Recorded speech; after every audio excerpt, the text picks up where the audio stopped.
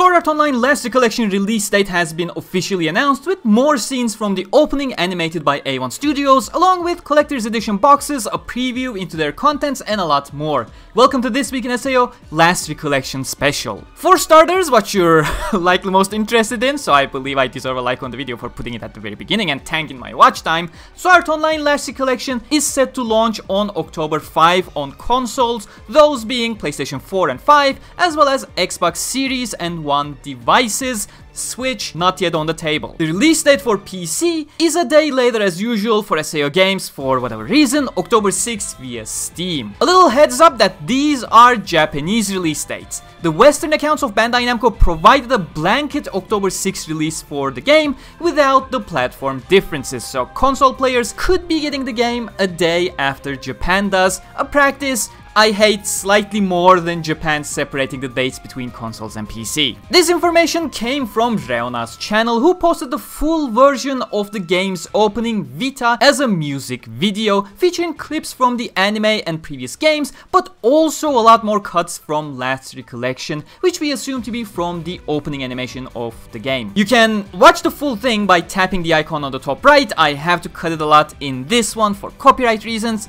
So far we don't know if the game itself will also feature scenes animated by A1 or not, but based on the snippets we have received, I cannot wait to dig into the opening and make an explained video on it when they eventually publish it. I was hoping the stream earlier today would maybe have an actual trailer to add to the fray, but sadly it did not. It was mostly a recap of the news as they had promised, but they went a little deeper into the collector's edition bonuses that were revealed and showed some of them live as well. The basic limited edition called the Last Recollection Edition comes with a special box featuring the new key visual drawn by Abeshi. This illustration also replaces the game box art itself. There's a special CD case featuring artwork from the second key visual and inside that special case there is the game soundtrack and another drama CD as is the tradition for SAO games. For those curious, we have a full translation of the Alicization Lycoris drama CD here on the channel which was the prologue story of Gameverse Hero and Wayfarers in Alicization Lycoris. You can watch that by tapping the icon on the top right. If we can get our hands on the last Last Recollection one, we'll have a look into that as well. Last Recollection Drama CD has already finished recording according to the stream and will be around 30 minutes long.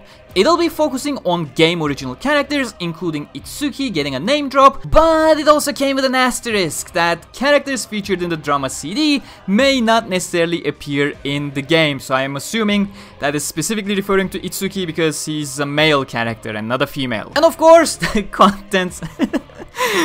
and of course the contents will be directly tied into the events of the game, same as Alicization Lycoris. Aside from that, there is the Nerve Gear Special Volume 7, which features character information, interviews, and game art, and last but not least, an acrylic board featuring Abeshi's key visual. I'll just quickly inject myself in here before moving on to the larger box. These are announced for Japan only at the moment. I'll try to contact Bandai Namco Germany and UK and potentially US to see if we can get a confirmation, but don't hold your breath. They most certainly won't be able to confirm or deny a Western Collector's Edition before they either announce it themselves or way later down the line when it's pretty much confirmed they won't have one. And also, even if we do get a CE in the West, they had stopped translating the Nerve Gear special since Fatal Bullet, and they never did anything with the drama CDs anyways, as they were primarily audio content. Anyways, moving on, there is the 10th anniversary memorial edition, which is the larger box, which if you didn't know, SAO Infinity Moment, that was later remade into Hollow Fragment, came out in 2013, so it is indeed the 10th anniversary of the SAO games. This Memorial Edition features all the contents of the Last Collection Edition we just talked about, but additionally, it comes with a character find graph featuring a serial number for your Abeshi illustration, a special SAO Games 10th anniversary shirt that has the infamous sentence from Kayaba Akihiko, uh, translated weirdly let's say, doesn't change the fact that I definitely want one, Bandai Namco Senpai, please notice me. Character acrylic stands Kirito and Asuna showcased on the visual itself, but during the stream they also showcased Eugeo, Alice and Dorothy versions as well. It is supposed to be a set of 19, which is incredible and makes me sad that we never get these in the West. A special collection box which they reveal the contents of during the stream. This box features a 3D crystal LED featuring character art that will shine colorfully when you turn it on, a B2 size tapestry, a desk mat featuring Abeshi's illustration, and a stainless steel glass featuring the game logo. And last but not least, it will include the premium pass for the game along with bonuses attached to the premium pass and SAO Game Series Battle BGM pack. Yes, that basically confirms we are getting DLC for Last Recollection too, but they are listed as additional heroine content, which makes me scratch my head a bit. Based on that wording, I feel like the base game will probably wrap up the SAO Gameverse this time, and the DLCs will be interquels with game characters or perhaps unrelated isolated events to the main course of the game. To be frank, Alicization Lycoris' DLCs were also quite isolated in their nature and barely felt like an extension of the game anyways, as for the premium pass bonuses, they include additional dungeons, outfits, and items, as well as an Integrity Knight outfit for Eugeo and Kirito respectively. I'm interested in dungeons, but that's always me hoping that Aquria will finally deliver a balanced game so we won't need these extremely spongy enemies with artificial difficulty, because a certain 1% exploit the shit out of the imbalance in the power curve, but who am I kidding? That's probably the route we're going once more, and 99% of you will never even touch them. I, I really enjoyed the Sacrament dungeons in Hollow Realization. Why, why don't we just do that again? More like the first two sets, less of the third set, please. As for the Integrity Knight sets for Kirito and Eugeo, and by extension, the early purchase bonuses that I did not mention yet, Dark Repulsor, Elucidator, and three other swords from previous SAO games.